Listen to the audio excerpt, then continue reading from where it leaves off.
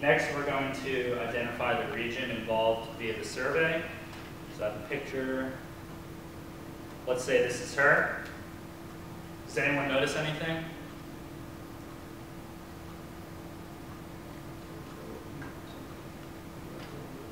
Yeah, she has a left head tilt, and you can't see her ears, but you can look at her eyes. Her left eye is lower than the right. Anything else? Left head rotation, you can tell from the nose. You can see more of it there versus the left. And I know this is a pose for a picture, but let's just say she also has a left high shoulder. okay, so I originally had effects filling this in, but we had some technical difficulties, so it's all just filled in now. But you start here, so we already had this filled out.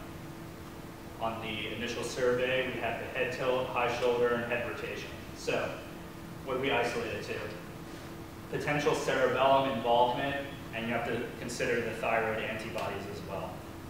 So in this case, you have dysarthria, which is indicative of a cerebrocerebellum lesion, diplopia, which is the vestibulocerebellum, and the chronic back pain, which is spinal. So she has global cerebellum involvement, which you'll see common in somebody with a thyroid case because that's a metabolic factor that destroys all of the cerebellum, not just one particular side. So global cerebellum involvement, you're going to do stabilizing exercises for the spinal cerebellum, fixation exercises for the vestibular cerebellum, plan coordinated movement with emphasis on the right side of the body for the cerebrocerebellum. Does anyone know why it would be on the right side of the body? It's because the what we're trying to do here is activate the um, dysarthria. We're trying to rehab the dysarthria, which is the, the speech problem, and the speech is in your left hemisphere here, in your cortex. So we're going to activate the right here. Just the right cerebellum and the left cortex have to do with speech. So what are some things that are presynaptic to the cerebellum that we can activate? We can do spinal mechanoreceptors. This is where your adjustments will come in. By adjusting the neck and the spine, you can activate those to activate the uh, spinal cerebellum. You can do peripheral vestibular apparatus, so some head rotations um, to activate the vestibular cerebellum, and then the frontal lobe. So you can do different speech exercises, you can do concentration exercises. Now the blood supply here for the cerebellum, you have the an anterior, inferior cerebellar artery, the posterior, inferior cerebellar artery, and then the superior cerebellar artery. So what you want to notice is sometimes the cerebellum doesn't have enough, um, it's too damaged to activate directly. So what you might want to do is, let's say you're trying to activate the right cerebellum, but it's too damaged. What you can do is you can activate the left cerebellum, and by shunting the blood flow to the cerebellum, because all, all three of these arteries supply the entire cerebellum. So by shunting the blood flow to the cerebellum by activating the left side, you'll also deliver nutrients to the right side as well which will help over time, help the right side heal until you can activate it directly. Does everyone understand that? Yeah. At what point do you get imaging? Well, okay, so this is, you would get imaging done if they have, uh, a lot of these patients will have already had imaging done because they will have gone to a conventional neurologist first. So this person's never been to a neurologist. If they've never been to a neurologist first, based on these symptoms of double vision and speech problems as well, you may want to get imaging done as soon as they come in because that could be indicative of a stroke as well. But we're assuming that we ruled that out. But you would get, depending on the symptoms here and their age and things like that, you would get MRIs done as soon as they come in with the chief complaint history. Um, so something like MS, if, if, it's like a young female and she has uh, vision issues, that's a red flag for MS. So you might want to get MRIs done as soon as they come in, after you, after you do a history and exam. The thyroid peroxidase is elevated in this patient as well, the Hashimoto's, because of the Hashimoto's disease. So what you want to do is for your treatment, you're going to do spinal adjustments OPK strips, which are those red and white strips, and they basically activate eyes.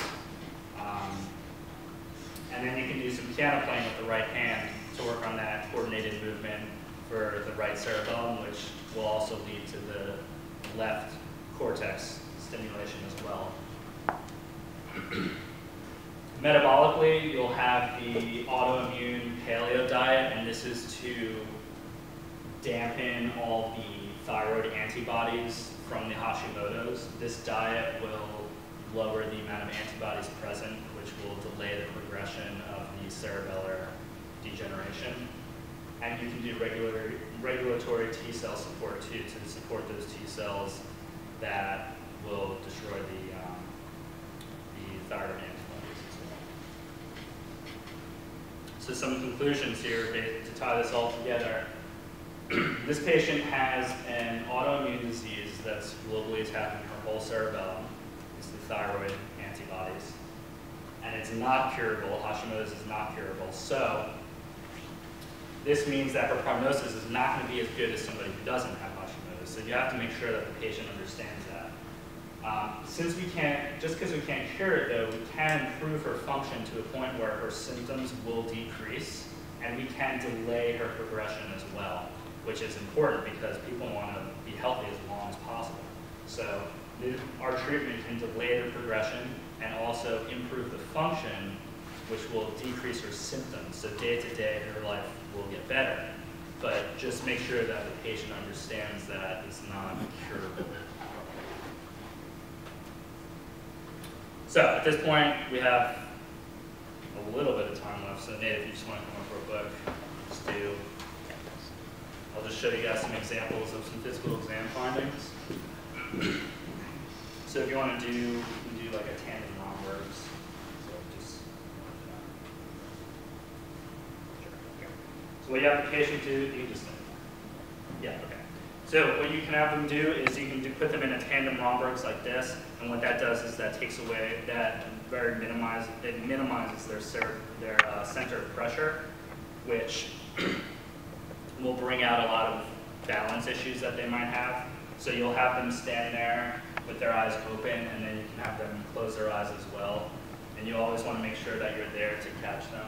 A lot of these patients, especially older patients, will fall as soon as they close their eyes. Okay, so you can. So a little tip for these tests. Um, in school here, I know we learn that you just do a Romberg, so you just stand there like this, and after like five seconds, you're like, you just say, okay, everyone's fine.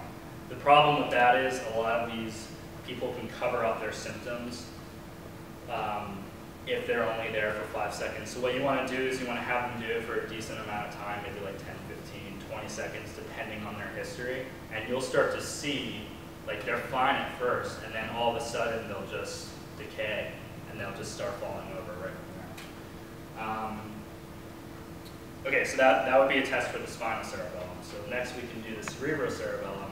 So we're going to have him do something like finger to nose. So if you just want to reach out like this, and then just touch your nose slowly, and then go as fast as you can.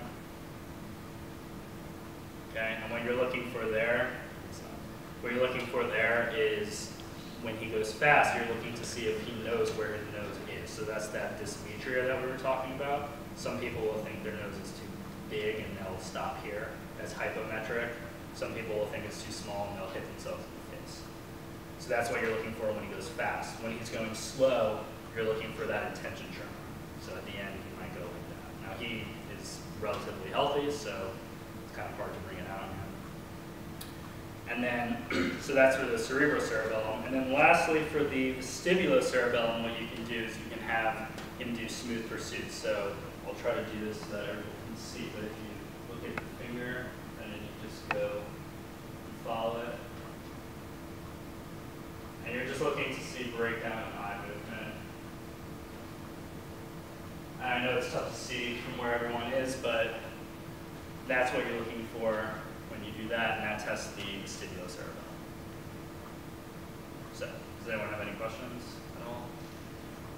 No? Okay. Well, thanks for coming out. That's all we have for you today. I don't know, Brian, are we doing anything next week? Uh, no, not next week. What is that? Was it week eight right now? this week eight? Next week's not. Yeah. Uh, Dr. Antonucci is coming. Yeah, that's actually is next week. Thursday during the advanced hour, Dr. Antonucci, it's the seventh, right?